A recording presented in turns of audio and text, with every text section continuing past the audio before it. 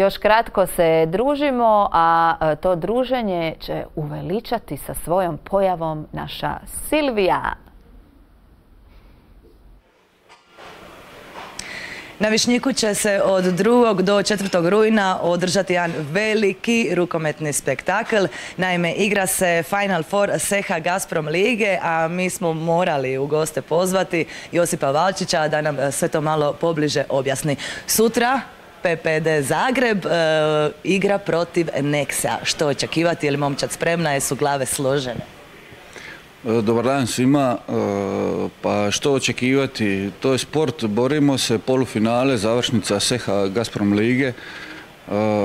Zagreb, Nexe, mi smo u pripremnom razdoblju početak nove sezone, odmah jaka utakmica između velikog rivala Nexea i mislim da je ekipa spremna, e, stiže danas u Zadar, e, završne još te e, pripreme za tu utakmicu i nadamo se pobjedi.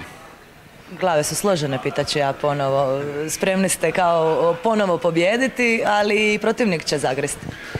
Pa je, on je uvijek tu blizu nas, ekipa iz Hrvatske najjača pored nas, tako da bit će zanimljiva utakmica, puna borbe i nadamo se na kraju naše slavi. Ulasku u finale. Naravno, i mi se tome nadamo. E, nakon toga očekuju vas, ako ih pobjedite, Makedonci ili Mađari, koga biste ovako više voljeli vidjeti na terenu? E, drugo polufinale, Vesprem i Eurofarm. E, znači Vesprem vrhunska ekipa u, koja završava inače u Ligi prvaka u završnicama.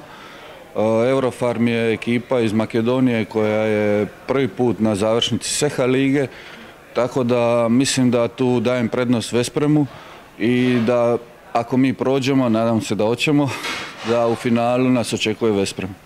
E, Seha liga, može dvije, tri rečenice o njoj, kakva je? Pa, regionalna liga e, koja e, koja ovaj, uvijek ima završnicu Final Fora, evo tri godine u Zadru, ovo je treća sezona, uh, ovo je 11. 12. sezona Seha Lige, ona postoji duže, ali treća, treća godina u Zadru.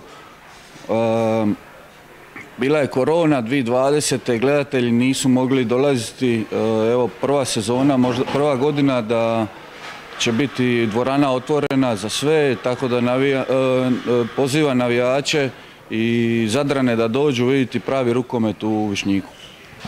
Kako je bila sezona, Josipe? Možemo li neki rezime? Pa prošle godine završili smo u Hrvatskoj ligi prvaci, osvojili smo kup e, Hrvatske. U ligi prvaka smo malo zakazali, ali nadamo se iz godine u godinu ići sve boljim rezultatom.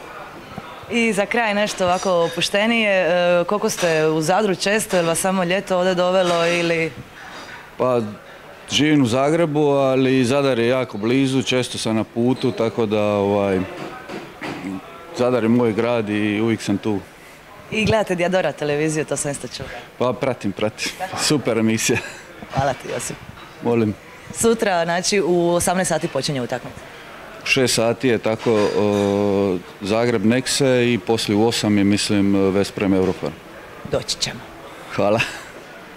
E, čuli ste bolji poziv kad Josip Valčić kaže dođite, nemate što nego morate doći. Znači sutra na Višnjik u 18 sati igraju naši protiv naših, ali mi naravno navijamo za PPD Zagreb. Vi izaberite svog favorita.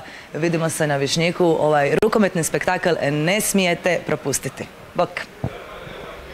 E, hvala draga Silvija, hvala Josi što nas gleda prije svega i hvala na ovom javljanju. E, lijepo vas je vidjeti, znam da je kiša, ali sviđa mi se taj kadar isto tako, e, a ne samo oni naši prekrasni otvoreni prostori.